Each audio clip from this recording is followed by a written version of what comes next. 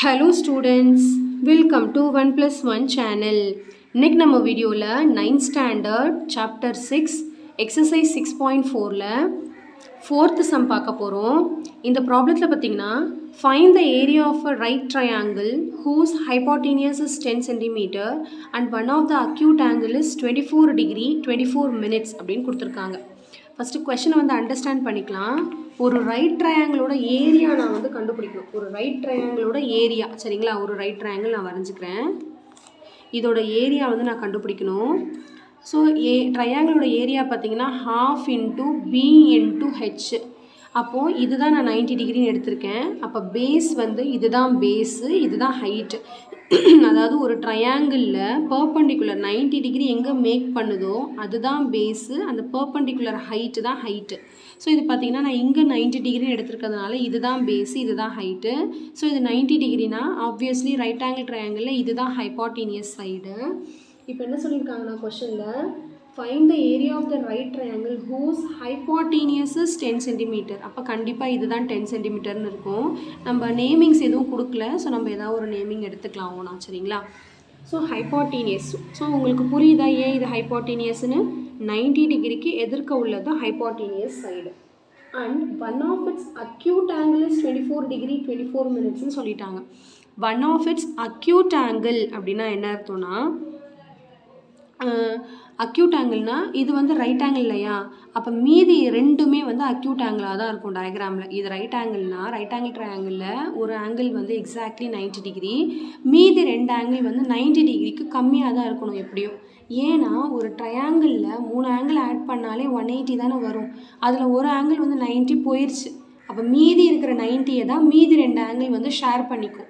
அப்போ கண்டிப்பாக மீதி ரெண்டு ஆங்கிளும் 90 டிகிரிக்கு கம்மியாக தான் இருக்கும். அதாவது அக்யூட் ஆங்கிளாக தான் இருக்கும். ஸோ அதுதான் அந்த கான்செப்ட் அவங்க என்ன சொல்லிட்டாங்கன்னா கொஷனில் இந்த ரெண்டு அக்யூட் ஆங்கிளில் எதை வேணாலும் நீங்கள் twenty four degree twenty four மினிட்ஸாக எடுத்துக்கலாம்னு சொல்லிட்டாங்க.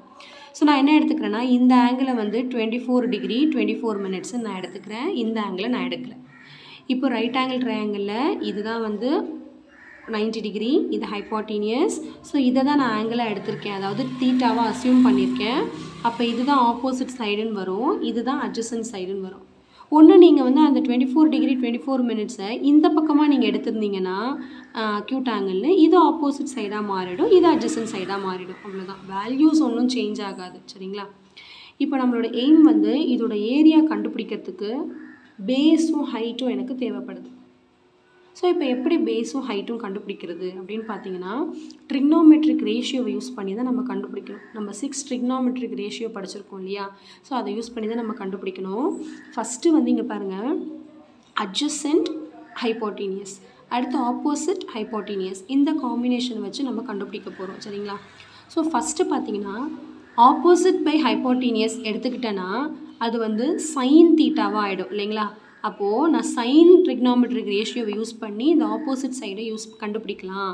அதே மாதிரி அட்ஜசன் பை ஹைப்போட்டீனியஸ் எடுத்திங்கன்னா அது வந்து காஸ் தீட்டாவாக ஆகிடும் அப்போ காஸ் ட்ரிக்னாமெட்ரிக் ரேஷியோவை யூஸ் பண்ணி நான் இந்த பேஸ் கண்டுபிடிச்சிடலாம். அப்போ ஹைட்டும் பேஸும் கிடச்சிரும் ஏரியா கண்டுபிடிச்சிடலாம். எப்படி வேணாலும் எடுத்துக்கலாம். இல்லை நீங்கள் அட்ஜசண்ட்டும் ஆப்போசிட்டும் எடுத்து டேன் காம்பினேஷனும் போடலாம். ஆனால் இது ரெண்டுமே தெரியாது இல்லையா? அதனால் போடுறது வேஸ்ட்டு ஒன்று நீங்கள் இதை கண்டுபிடிக்கணும். ஆப்போசிட் கண்டுபிடிக்கணும் இல்லை அட்ஜசன் சைட் கண்டுபிடிச்சி அதுக்கப்புறம் நீங்கள் டேன் ட்ரிக்னாமெட்ரிக் ரேஷியோ எடுக்கலாம். ஒன்றும் தப்பு கிடையாது. சரிங்களா? இப்போ நான் ஃபஸ்ட்டு நான் என்ன அசியூம் பண்ண போகிறேன்னா சைன் அசியூம் பண்ணிக்கிறேன். சைன் தீட்டாவை நான் அசியூம் பண்ணிக்கிறேன். Sine theta is equal to opposite side by hypotenuse side இங்கே வந்து தீட்டா வந்து தீட்டா இருக்க இடத்துல twenty four degree twenty four மினிட்ஸ்னு கொஷன்லேயே கொடுத்துட்டாங்க. ஆப்போசிட் சைடு வந்து தெரியாது. ஏன்னா இதுதான் இதில் வந்து ஹைட்டு இதுதான் பேஸ் வேணால் நம்ம டைரெக்டாக ஆப்போசிட் சைடாக ஹெச்னு எடுத்துக்கலாம். Height by. ஹைப்போட்டீனியஸ் வந்து டென்னு கொடுத்துட்டாங்க கொஷனில் இப்போ இந்த வேல்யூவை நம்ம கண்டுபிடிச்சிட்டு இது ரெண்டுத்தையும் மல்டிப்ளை பண்ணால் ஹைட் கண்டுபிடிச்சிடலாம். இந்த வேல்யூ நம்ம எங்கேருந்து கண்டுபிடிக்கணும்னா ஆப்வியஸ்லி ட்ரிக்னோமெட்ரிக் டேபிள்லேருந்து தான் கண்டுபிடிக்கணும். Sine twenty four degree twenty four மினிட்ஸில் பார்க்கணும். Sine twenty four degree twenty four minutes இங்கே பாருங்கள் நேச்சுரல் சயின்ஸ் டேபிள் தான் பார்க்குறேன். Twenty four degree twenty four minutes so அந்த காம்பினேஷன் பார்த்தீங்கன்னா zero point four one three ஒன்னு வருது. சரிங்களா? அப்போ நம்ம இதுக்கு பதிலாக என்ன போட்டுக்கலாம்னா zero point four one three one from the table நான் பார்த்துருக்கேன். ஹெச் பை டென் இப்போ ஹைட் கண்டுபிடிக்க போகிறேன் இது அந்த பக்கம் போனால் மல்டிப்ளிகேஷன் ஆகும். Zero point four one three one into ten which is equal to height அப்போ ஆன்சர் பார்த்தீங்கன்னா four point one three one எல்லா ஹைப்போட்டினியஸ் வந்து சென்டிமீட்டரில் தான் கொடுத்துருக்காங்க. அப்போ இதையும் நம்ம சென்டிமீட்டரில் எடுத்துக்கலாம். இப்போ height is equal to four point one three one centimetre okay இதே காம்பினேஷன் வச்சு நம்ம பேஸ் கண்டுபிடிக்க போகிறோம் இதை. இப்போ பேஸ் என்ன எடுக்க போகிறேன்னா காசே எடுத்துக்கிறேன். இல்லைனா நீங்கள் டேன் எடுக்கிறதா இருந்தாலும் எடுக்கலாம். டேன் ஈக்குவல்ட்டுன்னு போட்டு கூட டேன் வந்து ஆப்போசிட் பை அட்ஜசன்ட் இல்லையா? ஏன்னா இப்போ தான் நம்மளுக்கு ஆப்போசிட் சைட் தெரிஞ்சிருச்சுல அதை வச்சு கூட கண்டுபிடிக்கலாம். நான் வந்து காஸ்க்கே போகிறேன் cos theta equal to adjacent side by hypotenuse. இங்கே தீட்டா வந்து twenty four degree twenty four மினிட்ஸ்னு already கொடுத்துட்டாங்க. Adjacent side தெரியாது அதுதான் பேஸ் பின்னு எடுத்துக்கிறேன். ஹைப்போட்டீனியஸ் வந்து டென்னு இப்போ இதுக்கு வந்து நம்ம டேபிள் பார்க்கணும். மறந்துடாதீங்க. காஸ்க்கு வந்து மீன் டிஃப்ரென்ஸ் வந்து சப்ராக்ட் பண்ணணும். நம்மளுக்கு இங்கே மீன் டிஃப்ரென்ஸ் பார்க்கணுன்னு தேவைப்படாது. ஏன்னா டுவெண்ட்டி ஃபோர் மினிட்ஸ் தான் இருக்கு இல்லையா? அப்போ அப்போ வந்து ஒன்றும் பிரச்சனை கிடையாது. Cos twenty four degree twenty four மினிட்ஸில் பார்த்தீங்கன்னா zero point nine one zero seven so நீங்கள் அப்படியே அப்ளை பண்ணிக்கலாம். Zero point nine one zero seven zero point nine one zero seven is equal to b by ten இப்போ ten அந்த பக்கம் போனால் multiplication ஆகும். இப்போ zero point nine one zero seven into ten is equal to b so இதை multiply பண்ணால் nine point one zero seven is equal to பின்னு வரும். அப்போ பேஸும் நான் கண்டுபிடிச்சிட்டேன். Nine point one zero seven centimetre அப்போ பேஸும் ஹைட்டும் கண்டுபிடிச்சதுனால நம்ம இப்போ வந்து area of the right angle triangle வந்து ஈஸியாக கண்டுபிடிச்சிடலாம். ஓகேங்களா ஈஸி கான்செப்ட் தான். கொஞ்சம் அந்த டேபிள் பார்க்கும்போது கொஞ்சம் கேர்ஃபுல்லாக பார்க்கணும் அவ்வளோதான் ஓகே ஸோ இப்போ வந்து நம்ம area of the right triangle area of the triangle formula use பண்ணி கண்டுபிடிச்சிடலாம். So area of the right angled triangle is equal to area of the right angled triangle is equal to 1 by 2 into b into h square units அப்போ 1 by 2 into b வந்து என்ன கண்டுபிடிச்சோம்? Nine point one zero seven into height வந்து four point one three one இப்போ இது ரெண்டுத்தையும் multiply பண்ணிவிட்டு டூவால் டிவைட் பண்ணுவதாலும் பண்ணலாம். இல்லை இதை டூவால் கேன்சல் பண்ணிவிட்டு அதுக்கப்புறம் மல்டிப்ளை பண்ணாலும் பண்ணலாம் நம்ம இஷ்டம் தான் ஸோ நான் இதை ஃபஸ்ட் ரெண்டுத்தையும் மல்டிப்ளை பண்ணிடுறேன். Nine point one zero seven into four point one three one multiply பண்ணிடுறேன்.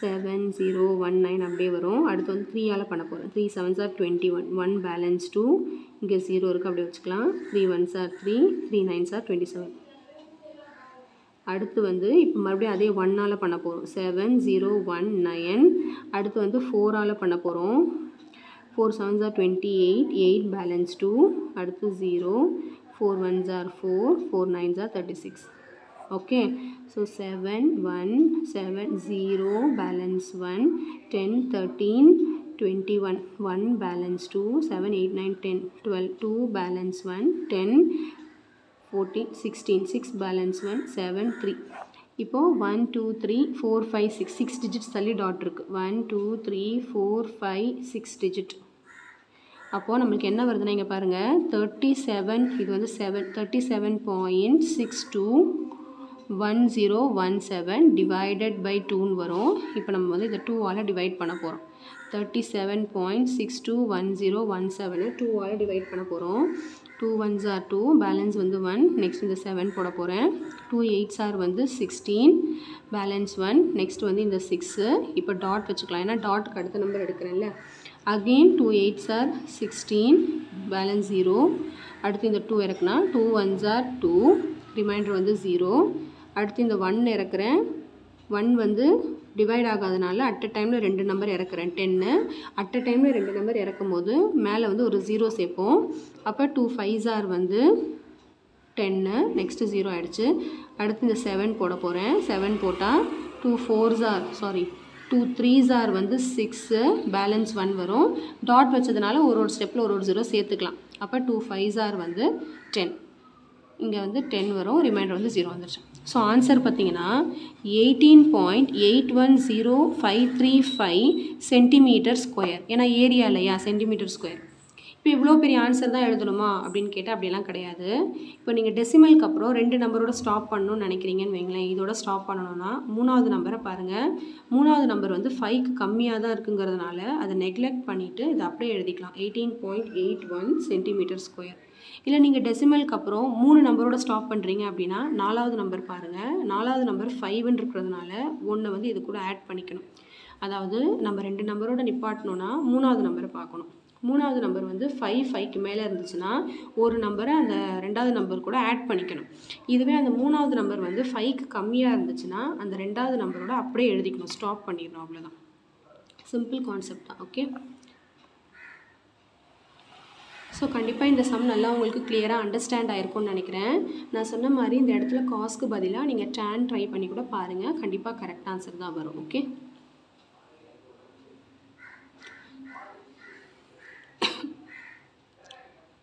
so thank you so much for வாட்சிங் ஸ்டூடெண்ட்ஸ் பாய்